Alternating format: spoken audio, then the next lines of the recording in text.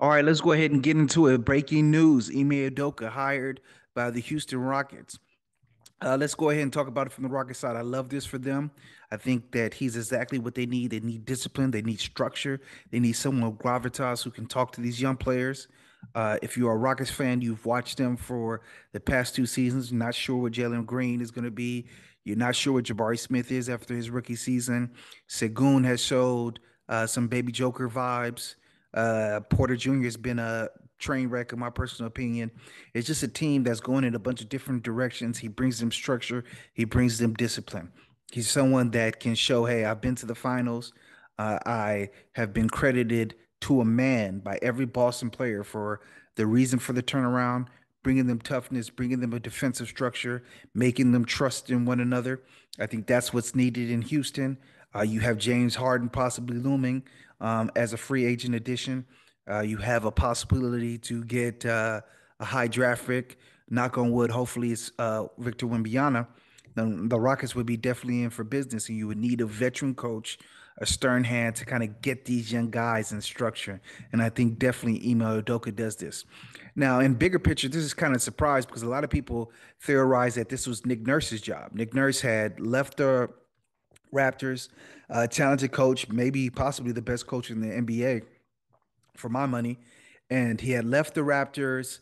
Uh, there have been rumors for months that he would go to the Rockets, but what I'm guessing is the rumors were that they were going to clean house completely in Houston. And Rafael Stone, their GM, made this hire. So maybe Nick Nurse didn't get the full power that he wanted to hire a GM with him. So uh, he chose instead to, you know, look for other options, and they went with Ime Udoka. I think with Nick Nurse, you potentially look for a situation like Detroit.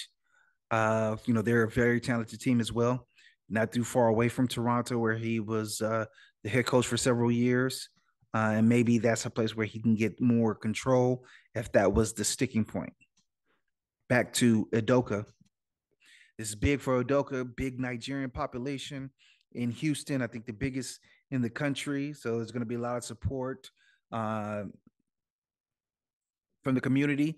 I think there's going to be a lot of buzz uh, with him and possibly Harden returning.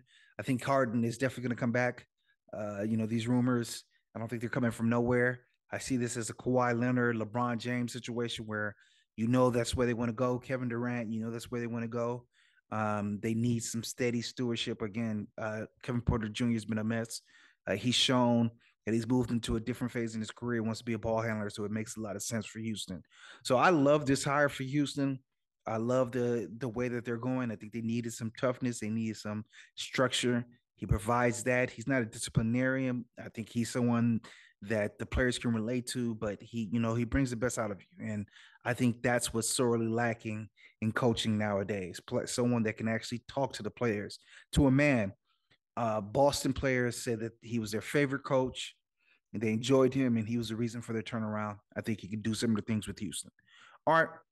So let me know what you think. Leave me a comment, subscribe, and as always, the game is the game.